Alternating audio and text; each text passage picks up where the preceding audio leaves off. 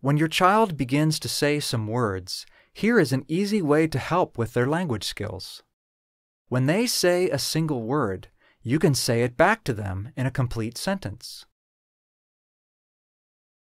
For example, if the child points at a ball and says, ball, you might say, you like to play with the ball. Or if you are eating and the child says, banana, you could say, we are eating this banana today.